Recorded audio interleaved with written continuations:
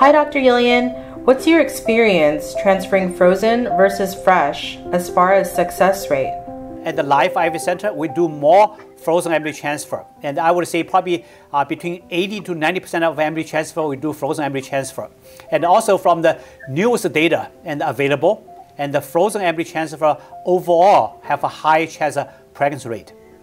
So if you are young, if you're doing natural cycle IVF, and I may try natural cycle transfer. And but if you are older, and I suggest the embryo to do PGS testing, and I do suggest you to do a frozen embryo transfer.